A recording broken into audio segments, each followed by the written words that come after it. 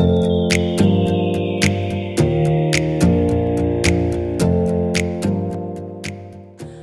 guys, so I again had this on my Instagram, uh, I think about a week ago at this stage. Um, I was on a bit of a rant and I said, I asked people like, would it be of any use to any of you guys if I went through maybe like a timing scenario with certain questions and try and work through a question in real time?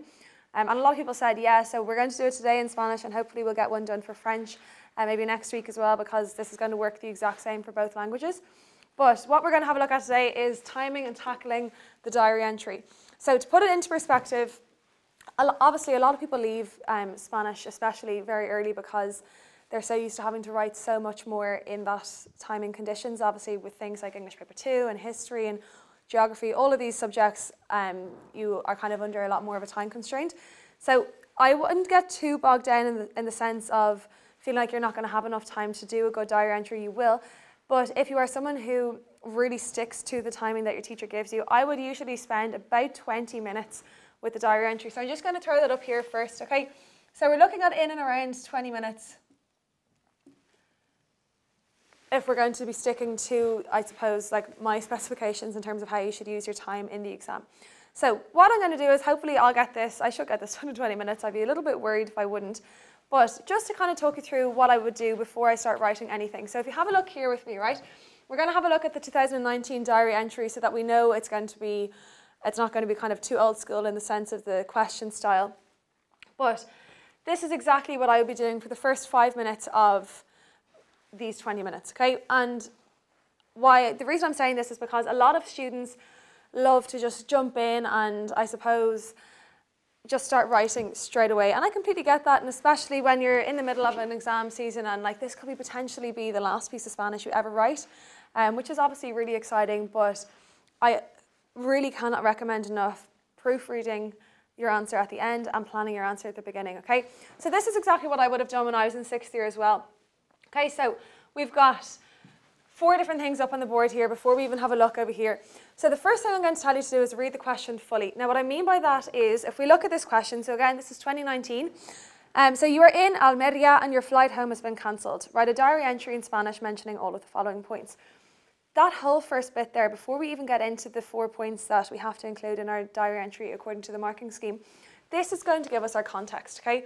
That if we're trying to push for a better grade, that we want the examiner to know that like we can make our diary entry sound more like a diary entry, that you're not going to go in and write a diary and just jump in and say like, my parents are very angry. Like you're going to give me context for it, okay? So this is going to be our context. So we're going to look for our buzzwords or our verbs in that context that we might have to include at the beginning of our answer. So what I would have done there is, I'm obviously going to mention the word Almeria. The word vuelo is the word for my flight, and the verb to cancel is the verb cancelar. So I'm going to need all three of them to put my answer into context. And then I'm going to, once I've identified my buzzwords or my verbs that I'm going to need for my context, I'm going to start reading the points and then planning those. So again, this is all the first five minutes of um, this question. So let's have a look. So we've got, say that your parents are very angry, explain why. So if I'm reading that, the first thing I'm going to write as a student and hopefully still as a teacher is that that's the SEC looking to see, do I know the difference between when to use ser and when to use estar? So I've written down here that I'm going to use the verb estar because I'm talking about the emotion, okay? And the easiest way to think of that is to say how you feel or where you are, you always use the verb estar, okay? So that's the first thing I'm going to mark for myself. Now, if we're trying to be a little bit outside the box, a little bit extra, for point two, you feel great because it's the best hotel you have stayed in. Rather than, again, use the verb estar, I'm going to show off a good depth of vocabulary and I'm going to use the verb to feel, which is sentirse. And actually, what I should even have written beside that is that that is going to become an E to an IE stem changing verb, okay? So instead of saying me siento, I'm going to say me siento. So this E in the middle of the verb here is going to change to an IE, okay? Radical changing verb. So that's the second point. So that's my kind of key thing there that I'm going to use to try and make sure that my answer reads very well and a little bit different to everyone else. Okay, the, sec the third point I should say, there is a fabulous pool, free Wi-Fi, and you can be online all day. And then my favorite part of the whole question, in brackets, and night, okay? So Obviously, the verb to be able to, or the verb to can in English, is this guy here, poder, and I would I would really hope that all six years know this, at least to know to ask to go to the bathroom in class using this verb. And again, I'm just going to make a note for myself. This is going to be an O verb to a UE verb. So it's another stem changing verb as well. Okay, and then my last point there, say what your plans are for the remainder of your stay. I'm going to keep that nice and simple for myself, and I'm just going to use the near future. So like the boy, ah, and then whatever the tense, um, sorry, whatever verb I'm going to use after that. And the reason for that is that's way easier to remember, especially when you're tired, you've done a load of Leaving Cert exams, and you're just not bothered anymore. It's way easier to get that tense right than it is to get the distant future tense right, okay? And this is probably more appropriate anyway because we are talking about the near future. Okay, so then we have point number three, and this is where people are probably looking at the board being like, what's going on? So when I actually get into writing my diary entry, in terms of feedback that we've gotten from examiners before, I would advise maybe to have two or three two or three sentences per point, three being kind of the max. Again, we're just being marked on four valid, well-made points. But if I'm looking for like well-made in terms of a diary entry, I want it to be a little bit more dramatic than a note, okay? Because I'm obviously using my diary to like account for the whole day. So it's going to be a little bit more personal, a little bit more emotional. So I'm calling them chunky chips.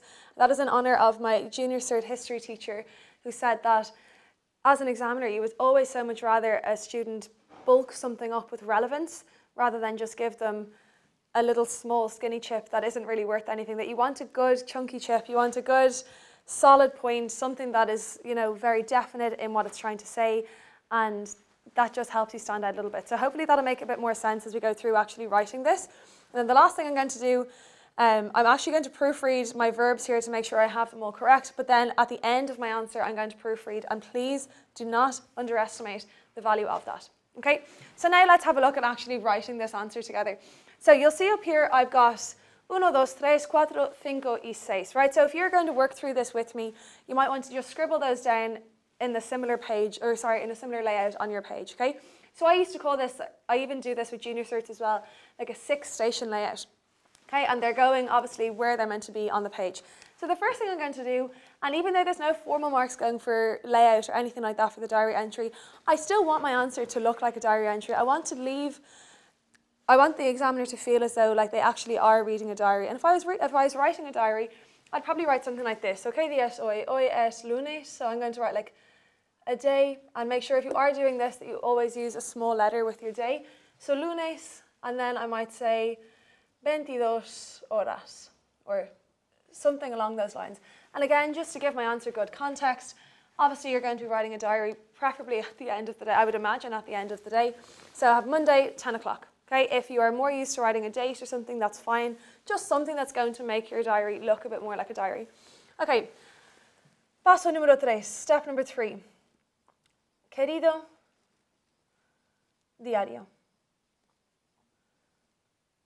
Okay, dear diary. Please do not ever change that. I don't care if you are a boy or a girl or whatever. This is always going to be querido diario. Okay, dear diary, because this is a masculine noun, so this is going to always match it. So it doesn't matter if you're a girl, it's still going to be querido diario. Okay, so now let's have a look at our question again, right? So I just have it here on my iPad. So I'm in Almeria, my flight home has been cancelled, okay? So if I was to look at that straight away, I'm going to think that it's a negative diary entry. But then if we go through it again, you feel great, and there's a fabulous pool. So this is obviously going to be more of a positive thing, right? But the first hack I'm going to give you is your opening sentence. And you can use this, these two words for positive or negative diary entries. Vaya dia, what a day. Okay, se puede utilizar eso para hablar de un día fantástico, un día horrible. You can use that to talk about a fantastic day, an awful day, anything like that. But vaya día, and we're going to remember to put our upside down exclamation mark at the beginning of that as well. Okay, so what a day. Okay, acabo. So acabo de pasar un día increíble. Okay. I've just had an incredible day, okay? And this is a lovely verb structure to start off with because it's a, like a, I suppose, a compound tense that we've turned it into. Acabo de is I have just, and it is always followed by the infinitive. And pasar is the verb to spend time or to pass time. So I've just had an incredible day. I've just spent an incredible day, okay? Acabo de pasar un día increíble. So now what I'm going to do is, again, putting it into context. So como ya sabes, because I would assume that if, you know, we're writing a diary entry, we're probably writing them quite consistently. So I'm going to kind of address the diary and say, as you know, so como ya sabes, as you already know, estoy aquí en Almería. I'm here in Almería con mis padres. Y, okay, so I'm here in Almería with my parents. Y hoy íbamos a volver a casa. Okay. So, as you know, as you already know, I'm here in Almeria with my parents, and today we were meant to, or we were going to return home. Okay, íbamos, we were going to return home. So I'm going to say, fuimos al aeropuerto. And now I'm going to jump into my kind of my first point. Fuimos al aeropuerto. We went to the airport. Pero nuestro vuelo fue, and I'm going to come back over here. So I've got Almeria in, got my um, vuelo in, and now I'm going to talk about um, the fact that it was cancelled. So fue cancelado. So I'm going to use the past participle of the verb cancelar, so cancelled. So nearly kind of using it as an adjective, like it was cancelled, okay? So, nuestro vuelo fue cancelado. Mis padres. So now I'm going to jump into my first point. So I've got, I'm going to use the verb estar now, and I'm going to get the emotion in as well, okay? Mis padres. So they are están enfadados. They are very angry. Porque tienen que volver a trabajo.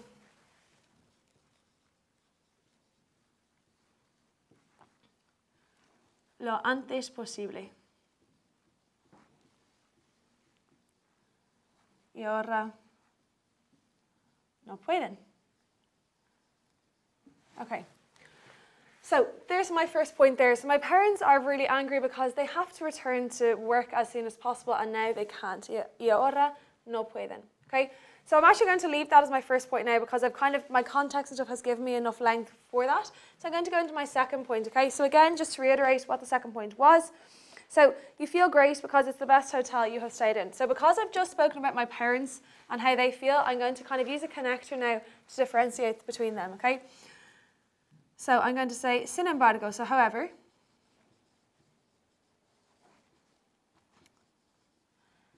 me siento and obviously I am a girl, so I'm going to say fantástica, but boys, you would have to change it to fantástico. Me siento fantástica, right? I feel, so there's my reflexive pronoun, me, and then my e to ie stem changing verb. Me siento fantástica. Porque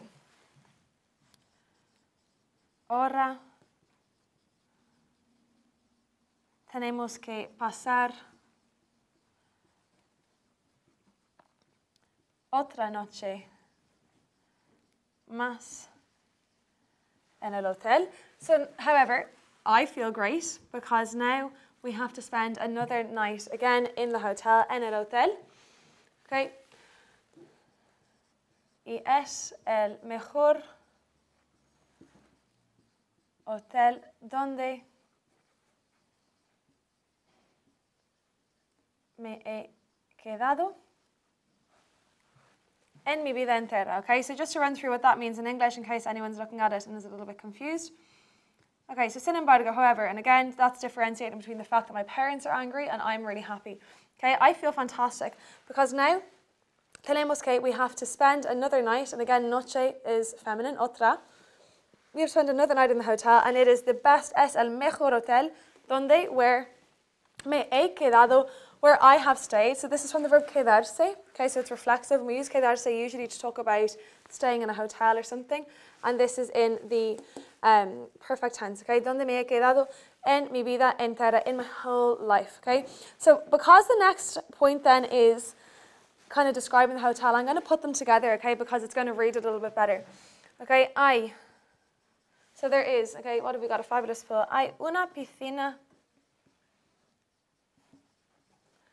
Um, hay una piscina, and just to kind of, I know we'd never really say this in English, like stupendous, but I've already used fantastic, I've used incredible, and I'm going to keep showing off all of these different synonyms to the examiner, okay? Hay una piscina estupenda, free Wi-Fi, everyone's favorite thing, Wi-Fi gratis, and gratis is the word we use for free when we're talking about money. Libre is what we use when we're talking about time, okay? So, um, Wi-Fi gratis, and I can, y puedo. So again, there's my, I've got my first stem changing and my second stem changing verb into my answer now. Y puedo. Now I'm going to use estar because technically speaking, if I'm talking about being online, I'm talking about where I am. So I'm going to use estar to say how you feel or where you are. Always use the verb estar. Puedo estar en línea todo el día or durante todo el día if you wanted. And then in brackets, I'm going to do the same thing as, as the SEC just to be a little bit cheeky, okay? En línea todo el día y la noche. Pero mis padres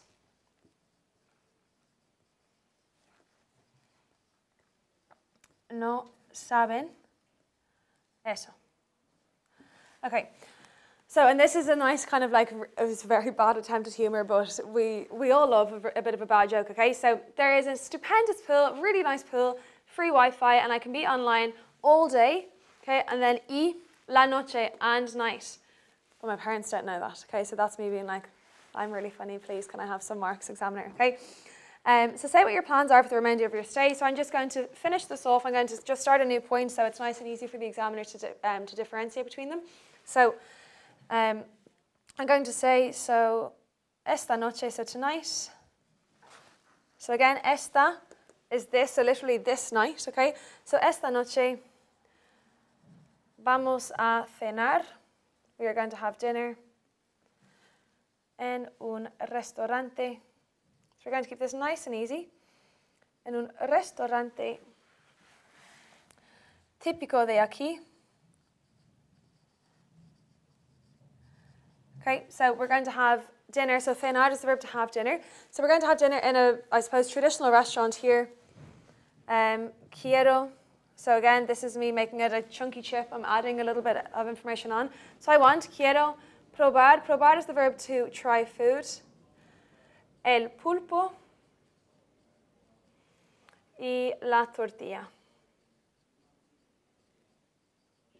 Okay, so I want to try, um, el pulpo is disgusting, but it makes it sound like you know a little bit more about Spanish food than just talking about la tortilla. El pulpo is a Spanish dish that's made with octopus. Um, so I want to try octopus and Spanish omelette. Now I'm actually going to just move this five in one sec, okay, because I want to just make sure this isn't really squashed. So, um, and then I'm going to say tomorrow morning, just to finish off, so mañana, por la mañana. So tomorrow morning, mañana por la mañana, vamos a ir de compras. And I'm going to show the examiner, I know that the verb to go shopping in Spanish is actually the verb to go of shopping. Okay, so I'm going to use the preposition de. Vamos a ir de compras en el mercado local. In the local market. Okay, and that's plenty then. Okay, so all I'm going to do then, I would have had the number five beside this, but I obviously don't know how to um, structure my board. But right under it, you're just going to have a nice sign-off phrase. So that's everything. Eso es todo. That's all from today. Tengo que acostarme. Ahora. I need to go to bed soon. Okay, so acostar is the acostarse I should say sorry is the reflexive verb to go to bed. So I have to go to bed soon. And all I do then is underneath that in the middle of my page just sign my name. Okay, or like hasta mañana and your name or something like that. Girls, we do not need X's and O's after your name. We don't need any smiley faces, any love hearts, anything like that. Literally just this. You can write your name straight away underneath it, or hasta mañana, or um, I'll you know I'll write I'll write again tomorrow. But also, and without making a joke out of it, please don't start doing weird things in the diary entry, like saying, Dear diary, hey, how are you? Or write back, okay, or hope to hear from you soon. The diary is never writing back, guys, okay? It's not real. I apologize. But nice and easy. So I would spend maybe, if that was in an exam, I'm doing five minutes of planning, I'd maybe do, say, 12 minutes of writing, and then that leaves me with about three minutes at the end then to proofread my work, which is the last thing on my list. Um, and I'd be making sure that a masculine noun has a masculine adjective, a feminine noun has a feminine adjective, okay, that I haven't made silly mistakes like that, that are ultimately going to cost me a lot of language marks throughout all four of my points, okay?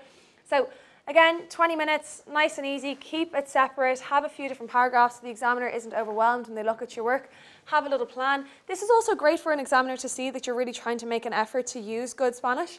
So I would definitely recommend this and hopefully next week we'll have one done for you guys for French as well, okay? So, um, muchísimas gracias y que tengáis un buen día. Adiós.